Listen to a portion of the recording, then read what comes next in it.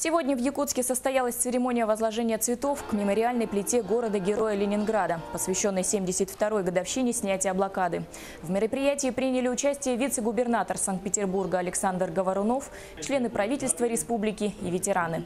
Блокада Ленинграда – одна из самых трагических и печальных страниц российской истории. О мужестве блокадников слагались песни и снимались фильмы.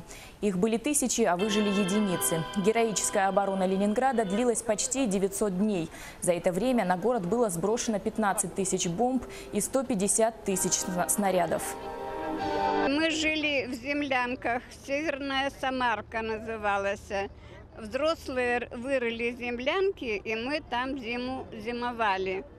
А уже в марте месяца 42 года нас стали вывозить э, всех. Сначала на лошадях, потом на машинах, потом на, это, на машинах через Ладожское озеро, э, потом э, на поездах, потом на пароходах. И вот так вот мы попали в Якутию.